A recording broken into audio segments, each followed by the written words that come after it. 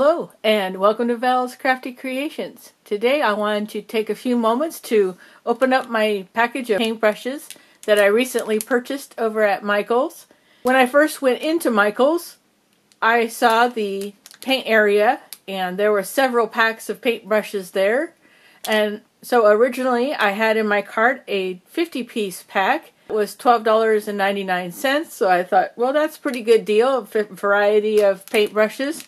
And now I'm no paintbrush expert, but I, I'm not really sure what's for watercolor, what's for acrylics. As I walked around the store and went over to where fancier paints the acrylics in the tubes, I did run across this pack.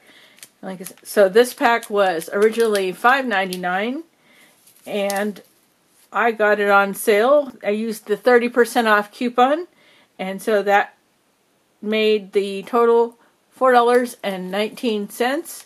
Now I know a lot of times you can go in with a 40% off coupon or maybe they'll even be on sale for 50% off.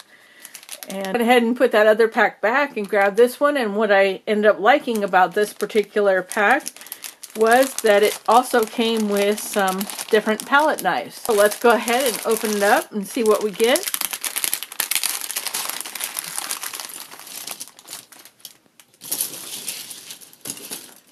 Okay, so it looks like in our 25 piece pack here, we're going to get three different size palette knives, which is great. I think I only had one smaller one, so that worked out for me because then I can have those. And then we have the then we have these brushes with the white bristles and the green handles. And there are one, two, three, four, six of those. And let's see, this says necessities. And so this has size 3, size 4, size 5, 3 of those round tip. And then we have 3 that are flat bristle brushes. And in those we have a 4, a 6, 3, 4. So 3 quarters. So like I said, I'm no paintbrush expert, but I just wanted to show what you get. So 3 palette knives, 6 of those type of brushes. And then we have 3, 4, 5 with the yellow handle. And we get a fan brush. I've been wanting to try one of those. And so you're going to get fan brush, angled bristle brush, and a flat bristle brush, and then a larger rounded tip, and that's a size 8, and then a fine tip, and that's a size 2. And then we have the brown handled brushes,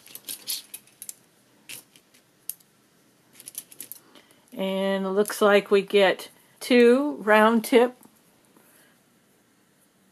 And then three flat bristle brushes, two, four, six, and this is three and a zero.